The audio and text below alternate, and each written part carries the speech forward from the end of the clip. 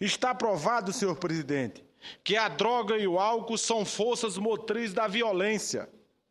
Muitos homens e mulheres afirmam que cometeram atos violentos após consumo dessas, destas substâncias. Pesquisas, como todos nós temos conhecimento, senador Randolph, informam que o ritmo de crescimento da violência está significativamente se elevando em todo o território nacional. Dados fornecidos por, por, por, pesquisa do próprio Ministério da Justiça dão o exemplo de como a violência vem aumentando em todas as regiões brasileiras, senador Mário Maia.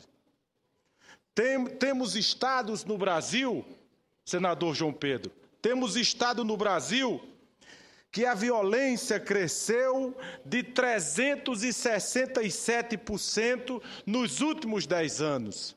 Veja a preocupação que esses dados causam a todos nós. Estados no Brasil que a violência cresceu 367% nos últimos dez anos. Estados como Piauí, senador Wellington Dias.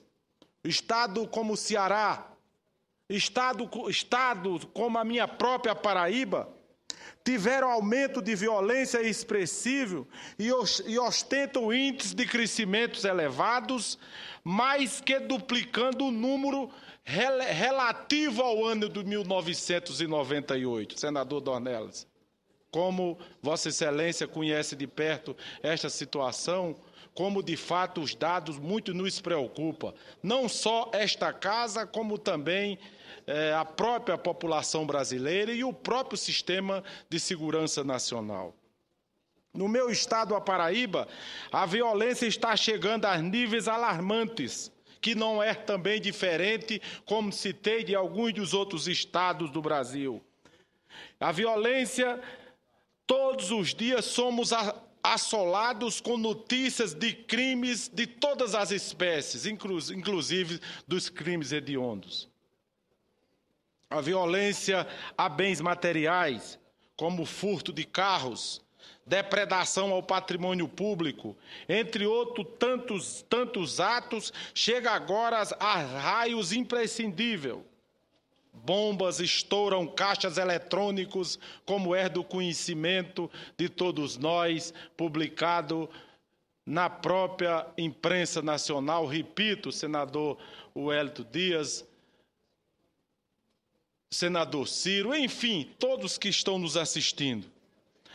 Aqui e acolá, danificando os estabelecimentos onde, onde até se encontram.